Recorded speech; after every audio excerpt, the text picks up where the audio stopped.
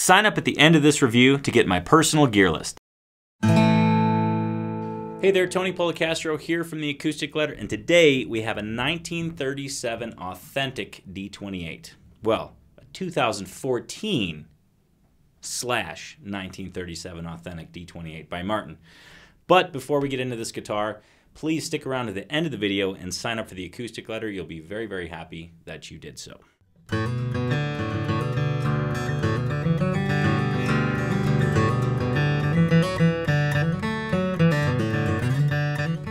Well, I gotta say this. I've waited for this guitar for a really long time.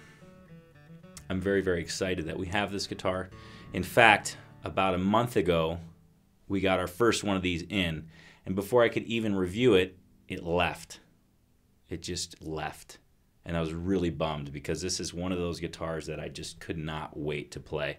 Could not wait to see it, could not wait to play it.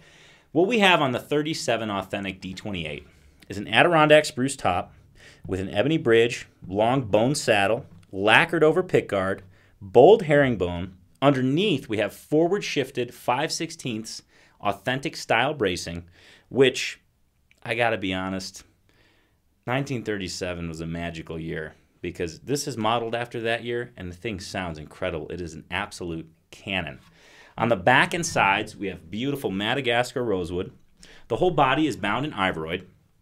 We have a mahogany neck with a really cool, unique 1937 authentic neck profile. It's a little bit skinnier up at the nut, and then it tapers out to a pretty substantial, beefy neck down towards the body. And at first, I got to be honest, I was like, I don't know if I'm to love the feel of this.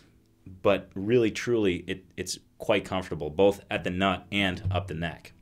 We have an ebony fingerboard with a diamond and squares inlay, an inch and three quarter bone nut classic Martin gloss headstock with the Martin decal, chrome Waverly tuners made right here in Bozeman, and an all-around killer tribute to the 1937 D28.